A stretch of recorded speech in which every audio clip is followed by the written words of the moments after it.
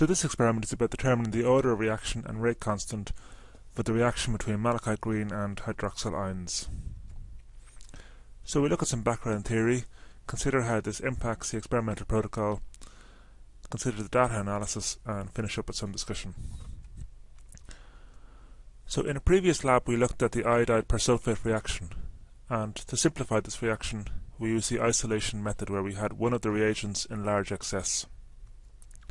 Since this reagent is in large excess, we said that the reaction simplified to a pseudo first order reaction, and we explained that the integrated rate law form of this gave us the equation shown.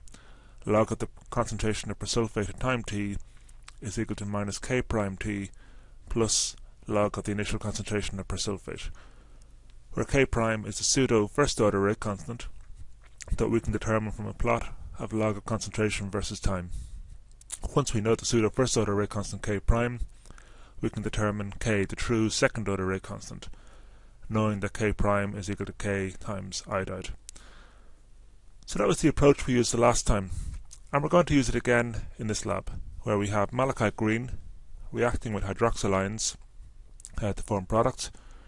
Uh, we're going to put one of the reagents, the hydroxyl ions, in vast excess, and we'll be able to assume pseudo first order conditions.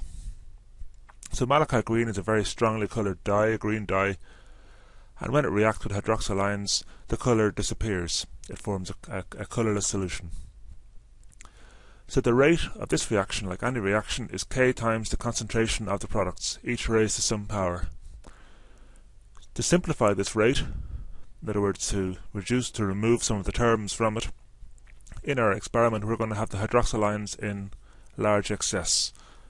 So we'll have one of the reagents, the hydroxyl ions in large excess, and just as we explained for the last experiment, that means that we can simplify this experiment to pseudo first order conditions. We're going to assume alpha is equal to 1, which means that we can determine the pseudo first order rate constant k prime as before, from a plot of log of the dye concentration against time. Now in this experiment we're not actually going to measure the dye concentration directly, but we're going to measure the absorbance because malachite green, as I mentioned, is a strongly coloured dye, green dye. So if we measure how the absorbance changes over time, well, because absorbance is related to concentration, that means we'll be measuring how the concentration changes over time indirectly. So, from the plot, as I mentioned before, we can determine K prime. So for each concentration of hydroxyl ions, and we'll do several for a reason we'll explain in a minute, we're going to plot the log of absorbance of the dye against time and determine the slope, uh, which was minus k prime. Okay, so last week we said that uh, when we expanded out the reaction again, we said, well, let's assume beta is equal to 1 as well. This time we're not going to assume beta is equal to 1. This time we're actually going to determine what beta is. And if we look, when we simplified the full rate law into pseudo first order conditions, we can see that K prime is equal to K times the concentration of hydroxide ions to the power of beta. If I get the log of both sides and expand that out using the first rule of logs shown on the right hand side, this gives me this expression. Log K prime is equal to log K plus log hydroxide ion concentration to the power of beta. But this I can now use the second rule of log shown, log a to the power of n is equal to n log a. This allows me to bring down the beta in front of the log, and I get the second equation shown, which we can relate to the equation of a straight line.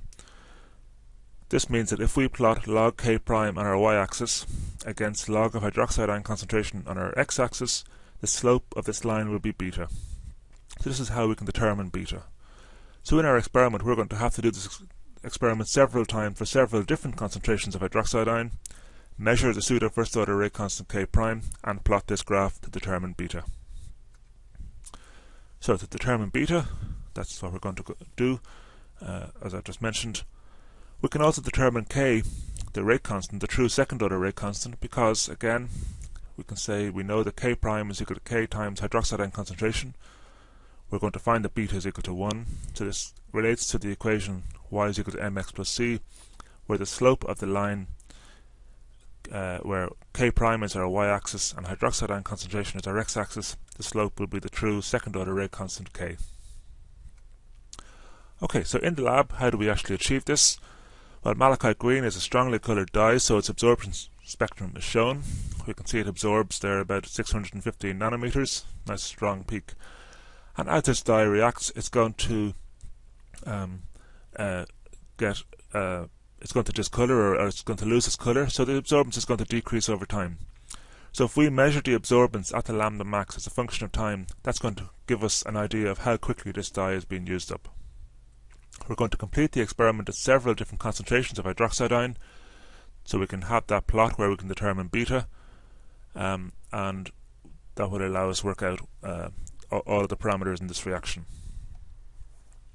So, how will we analyze our data? Well, the first thing is to determine K prime from all of our hydroxide ion concentration experiments. So we're going to plot pseudo first order rate plots where we plot the log of absorbance against time uh, for each hydroxide ion concentration experiment. We'll take five or six points from our absorbance data and that will allow us to determine K prime for each concentration. The second thing is to determine beta. We know for each concentration of hydroxide ion what K prime is, so we can get the log of those values and complete a log-log plot. Uh, this will allow us to determine beta as described. And finally, we know again hydroxide ion K prime from the first part of the experiment, so we'll be able to work out um, K by plotting K prime against hydroxide ion concentration. And it's convenient to pool data across the class, um, so we get several data points for these plots.